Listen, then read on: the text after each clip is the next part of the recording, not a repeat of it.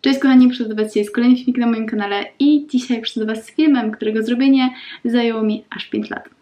I będzie to nic innego jak film, który opowiada jak z tego doszłam do tego. Także, jak już możecie się domyślić, film będzie o moim aparacie.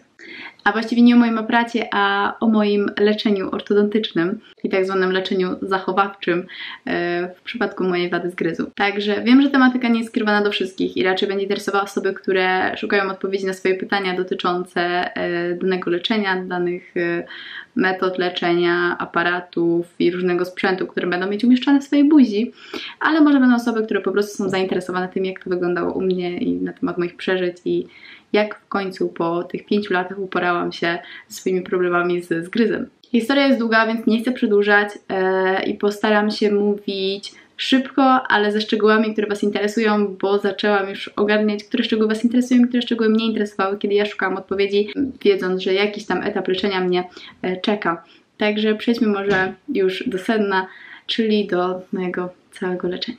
Najważniejszy punkt to jest, dlaczego w ogóle zaczęłam leczenie. U mnie to nie była tylko kwestia krzywych zębów, a troszkę poważniejsza sprawa, a mianowicie progenia. Czym jest progenia? Jest to wada zgryzu. Wada zgryzu, która może pojawić się dosyć wcześnie, i którą już zazwyczaj widać. E, na czym ona polega? Polega na tym, że nasze żuchwa, czyli to na dole, jest e, wysunięte przed górną szczękę, czyli nasze dolne zęby zachodzą na górne. E, nie wygląda to estetycznie. Z tego co wiem, nie ma jakichś większych powikłań e, takich zdrowotnych, jeśli się jej nie leczy, przynajmniej tego nie znalazłam, ale głównie nie wygląda to estetycznie po prostu, e, ponieważ no, nasza broda jest wtedy dosyć znacząco wysunięta przed, a prawidłowy układ zębów jest taki, że nasze górne nachodzą na dolne. Ja dodatkowo mam jeszcze dosyć wysuniętą brodę, tak po prostu tak mi się układają kości, więc sprawiałoby to, że wygląda, wyglądałoby to bardzo nieestetycznie. Tak może wyglądać nieleczona progenia. E, to jest zdjęcie akurat z internetu. Widać to zwłaszcza z profilu, ale przy takiej dosyć już rozwiniętej może to też widać być z przodu po prostu.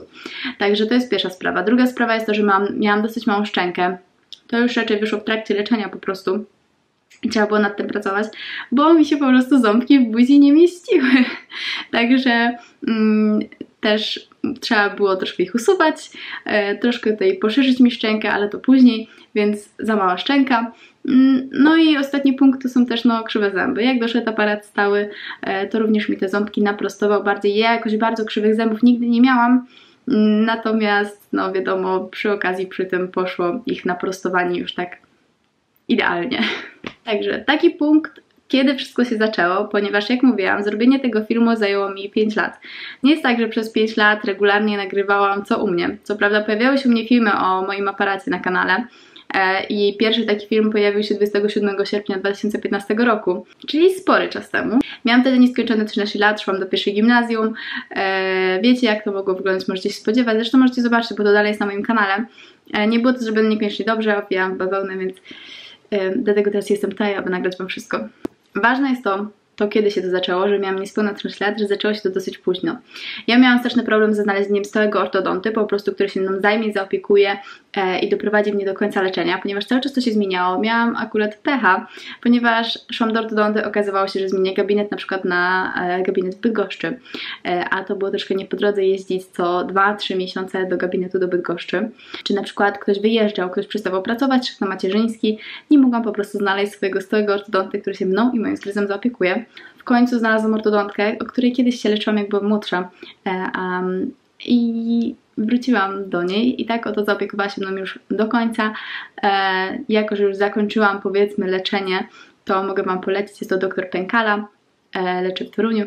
Ja jestem bardzo zadowolona, jestem i tak naprawdę pracą i wizytówką, także e, ja mogę z ręką na serduszku polecić, e, ponieważ już się mną do końca zaopiekowała i e, zrobiła to bardzo dobrze. Ale teraz takie to sedno filmu, czyli etapy leczenia. Wcale nie poszło tak z górki. Przed jeszcze leczeniem miałam taki gumowy aparat na zęby. Wyglądał on trochę jak szczęka do boksu. I go nosiłam, miał miał teoretycznie coś robić ze szczęką, ale to wiecie, było takie trochę przedłużanie, niekoniecznie działało to dobrze. Ale już później, przychodząc do pani doktor, w sierpniu 2015 roku został mi zamontowany Hyrax. Hyrax e, miał mi rozszerzyć szczękę. Jest to taka nakładka na podniebienie, z, jeśli się nie mylę, akrylowymi takimi nakładkami na tylnie zęby i metalowa, metalowa płytka na podniebieniu, to wszystko jest połączone. Miało to właśnie za zadanie rozszerzać mi szczękę. Moja mama co dwa dni w domu mi to rozkręcała takim śrubokręcikiem. W rezultacie miałam 21 rozkręceń i co jest ważne przy Hyraxie, bo na pewno to są oto pytania, ja miałam z tym problem. Są trudności z jedzeniem, zwłaszcza na początku. Trzeba się przyzwyczaić do tego, że pomiędzy płytka nasze podniebienie wchodzi jedzenie. Mój protip, nie przejmować się tym w trakcie jedzenia. Ja wiem, że to jest trudne, ale jeśli Wam coś wchodzi w trakcie jedzenia, nie przejmujecie się tym, dopiero po jedzeniu się tym zajmujecie. Tak się je o wiele łatwiej.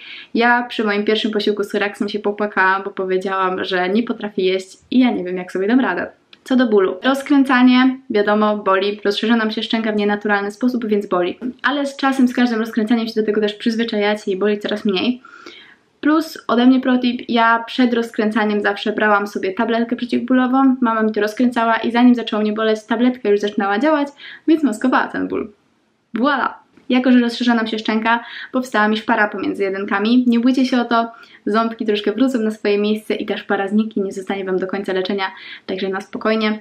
E, jest to normalne, mnie pani doktor też przed tym ostrzegała, ale wszystko wróci od normy. Jak widzicie, teraz szpary pomiędzy jedynkami nie mam.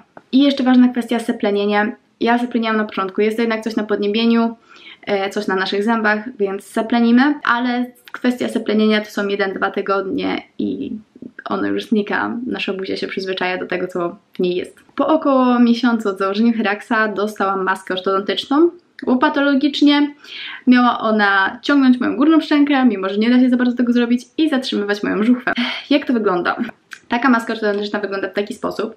E, zakładacie ją tak, macie na Hyraxie takie druciki z boku i gumeczkami, wyciągami e, zahaczacie tutaj oraz o Wasze e, haczyki na Hyraxie i tak to działa. Tyle. Ja musiałam ją nosić 16 godzin dziennie, czyli nosiłam ją całą noc i jak najwięcej w ciągu dnia. Wiadomo, jak ją zakładamy, ona robi coś z naszym zgryzem, więc to trochę boli, sprawia taki dyskomfort. Może niekoniecznie to jest ból, ale taki dyskomfort, mamy obolałą szczękę powiedzmy, ale to jest też coś, z czym się przyzwyczajacie, jakby im więcej ją nosicie, tym bardziej się do tego uczucia przyzwyczajacie i tak naprawdę po czasie to już jest kwestia tego, że macie coś na buzi i tyle. Protip ode mnie polecam wkładać sobie chusteczki tu i tutaj, bo może Was to po prostu obetrzeć, e, także warto się jakoś zabezpieczyć. Tak w końcu nastał 3 luty 2016 roku, gdzie został mi zdjęty Hyrax. E, założono mi łuk podniebienny, aby te ząbki utrzymać w takim rozszerzeniu oraz założono mi stały aparat e, na górę, czyli ten łuk górny. Już wtedy zaczęło się to leczenie ząbków. Od maski miałam na razie przerwę, żeby ząbki sobie odpoczęły, przyzwyczaiły się do aparatu, e, więc ja byłam w niebo wzięta, bo noszenie maski to nie było nic przyjemnego, po prostu mi się nie chciało. E, I teraz zakładanie aparatu stałego, bo wiem, że to jest coś, co bardzo dużo osób interesuje. Czy jest ból przy zakładaniu? To po pierwsze nie.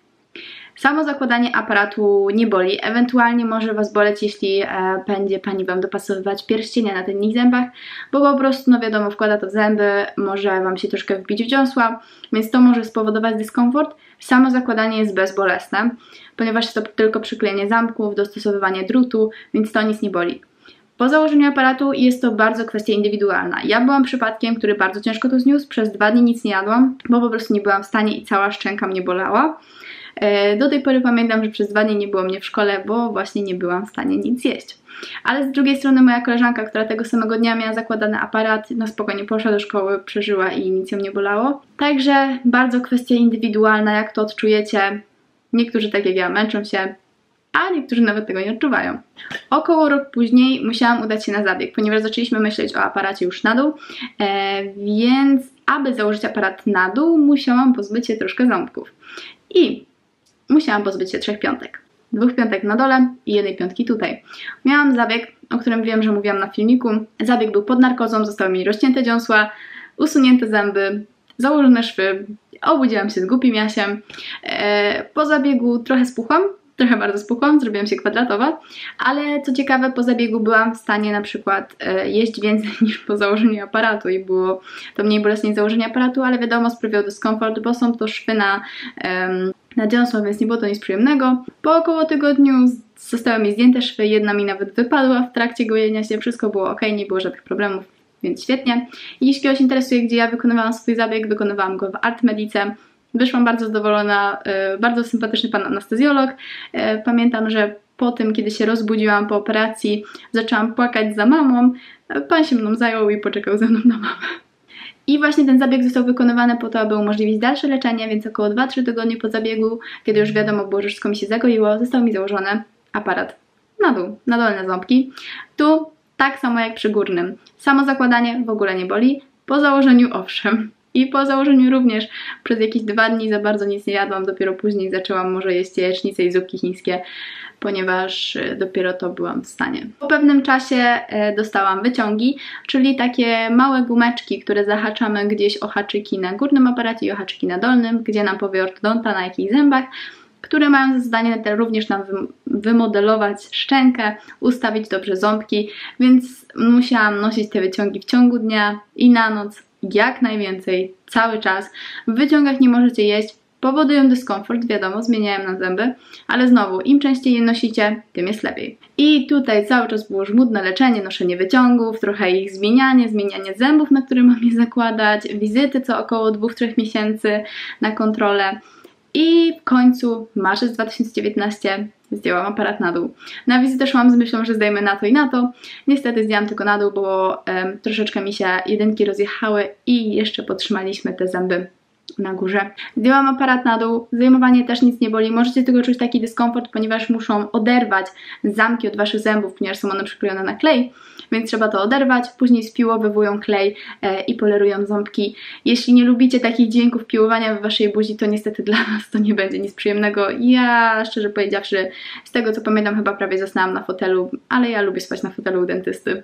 E, został mi przyklejony drucik na wewnętrzną stronę e, zębów dolnych, go nie widać jak się ze mną mówi, ja go tylko czuję pod językiem i on tam jest, trzyma mi ząbki i po prostu sobie jest. Dalej ciągnęło się moje żmudne leczenie, e, dbanie o górne zęby, czekanie na kolejne wizyty, zadawanie cały czas pytań pani, kiedy w końcu go zdejmę. Nadszedł ten punkt kulminacyjny, czyli 8 stycznia 2020 roku, kiedy to zdjęłam aparat na górę. I macie zresztą z tego vloga, gdzie się tak z tego cieszę. Ponownie samo zdejmowanie, nic nie boli, e, nawet nie zauważyłam kiedy pani mi to zdjęła, bo byłam przekonana, że zdejmuje mi drut, a okazało się, że zdjęła mi cały aparat, wszystkie zamki razem z drutem, e, więc później tylko piłowanie zębów, e, piłowanie kleju i polerowanie zębów i odciski. Na ostatniej wizycie, kiedy już nic w buzi nie miałam, e, trzeba było wykonać odciski, odciski górnej szczęki, ponieważ po leczeniu aparatem e, stałym dostajecie tak zwany retainer. Może być on w takiej formie, czyli w takiej formie takiej um, nakładki po prostu na zęby, a może też być on w formie takiej. Jeśli Wasze koleżanki koledzy, albo na przykład nawet Wy mieliście ruchomy aparat na zęby, to to bardzo to przypomina właśnie. Tak wygląda mój retainer. Jest różowy, w różowym opakowaniu, mogłam sobie sama dobrać opakowanie, więc dopasowałam je sobie do aparatu. Po cóż jest retainer? Retainer jest po to, e, aby trzymać Wam ząbki e, i go dostajecie. Trzeba było zrobić odciski moich ząbków i po 6 dniach właśnie ten retainer odebrałam i do tej pory go noszę. I tak oto zakończyło się moje leczenie. Ale właściwie nie zakończyło, bo kolejna rzecz, co dalej? Mam ten swój retainer, który noszę tylko w nocy i tak mi też było zalecone. Mam go nosić przez około rok. Trzy miesiące po zdjęciu aparatu i dostaniu retainera e, przychodzę na wizytę kontrolną i wtedy zostaje mi zamontowany drucik, taki jak na dole wewnątrz zębów, e, taki sam na górze. Pytanie teraz, co z tym drucikiem Tamara? Drucik na dole jest do 5 lat. Noszę go po prostu, on tam sobie jest, niczym nie przeszkadza, więc niech sobie będzie. E, drucik na górze jest do około roku, ponieważ podobno on dosyć często się odkleja, są z nim problemy, więc on jest do około roku. Retainer również noszę przez około rok, więc teoretycznie no, za 4 lata może będę wolna.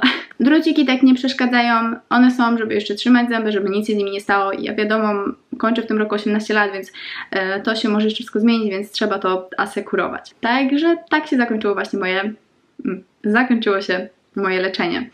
E, I ostateczne pytanie, czy było warto? Dla mnie jak najbardziej. E, ponieważ progania nie wygląda estetycznie, więc jestem bardzo z tego zadowolona, że to się udało. E, nie ukrywajmy, leczenie takie jest dosyć drogie, ponieważ same łuki e, kosztują w okolicach 1600 zł, czasami 1800 za jeden łuk, e, więc jest to dosyć kosztowne, ale opłacalne w przyszłości.